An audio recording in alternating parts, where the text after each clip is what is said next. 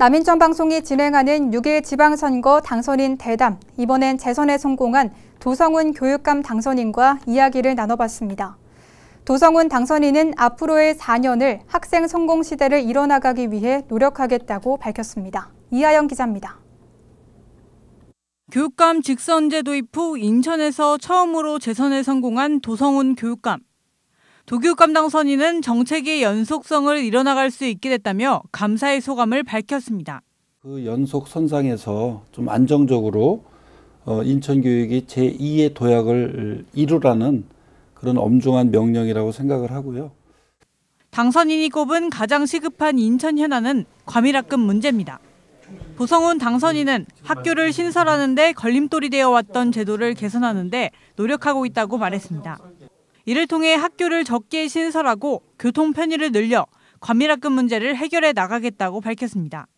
어, 현재 음, 학교 신설을 적기에 하는 것이 예, 아주 큰 과제이고 그 적기에 하는 것이 예, 과밀학급 해소와도 연관이 돼 있다. 그래서 미래교육에 대한 구상도 밝혔습니다.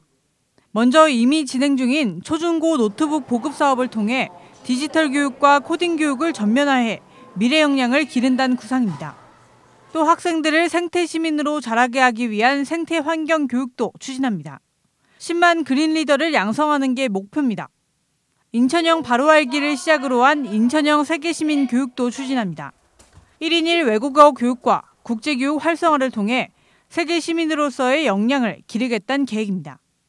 이제 앞으로 인천 교육이 유초중고 교육의 표준이 될 수 있는 어, 그런 공교육으로 성장할 수 있도록 어, 변하지 않을까 이런 생각이 들고요.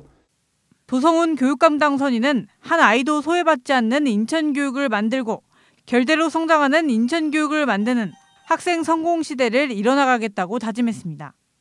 이번 도성훈 교육감 당선인의 대담은 23일과 24일 남인천 방송 지역 채널을 통해 방송됩니다. NIB 뉴스 이하영입니다.